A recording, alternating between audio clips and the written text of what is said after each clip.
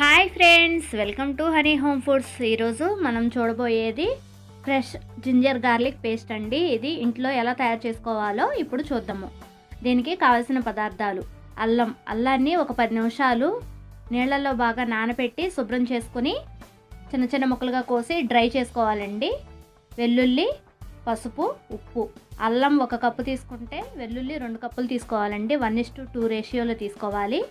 ఇప్పుడు ఒకదాని తర్వాత ఒకటి గ్రైండ్ చేసుకోవాలండి.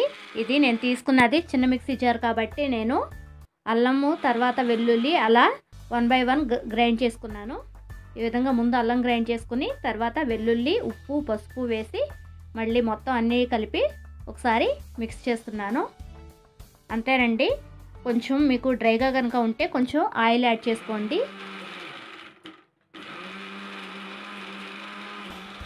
దీన్ని వన్ మంత్ వరకు స్టోర్ చేసుకోవచ్చండి.